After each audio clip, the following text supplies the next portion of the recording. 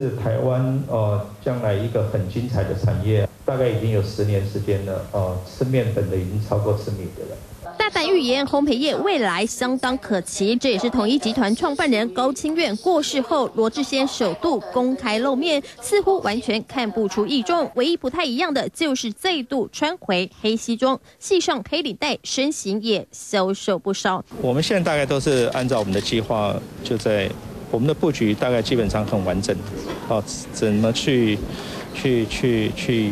优化似乎就怕影响心情。罗志先谈布局，也谈大陆市场，就是必谈家务事。连市场预期高秀玲可能会出席法说会，也是不见人影。但对于统一集团的下一步，罗志先心中早有蓝图。东南亚的部分来讲的话，我想，呃，对集团来讲，将来呃发展的空间也很大。我们必须承认，在过去呃几年里面，呃，东南亚的呃投诉的关切以及。